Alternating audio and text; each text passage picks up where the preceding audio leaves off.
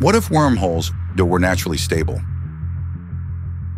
Not theoretical flukes or collapsing tunnels, but real persistent gateways scattered across space. Maybe they've been here longer than stars, we just haven't seen them. Yet. Wormholes were first predicted by Einstein and Rosen in 1935. For decades, they were thought to collapse instantly, unless held open by exotic matter with negative energy.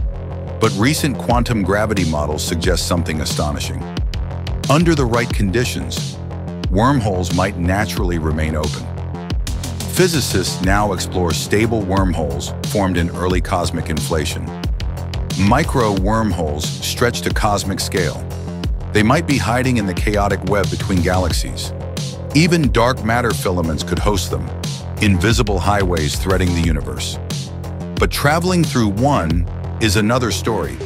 Stable wormholes may allow information or even light to pass, but any attempt to send matter could destabilize it or trigger catastrophic collapse.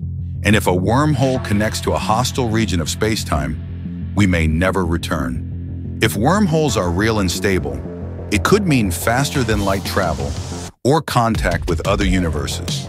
And yet we've never seen one directly. Or maybe we have and didn't recognize it. What if wormholes are everywhere, just beyond our understanding? Drop your thoughts in the comments. What next? And don't forget, if you don't subscribe, we might never meet again.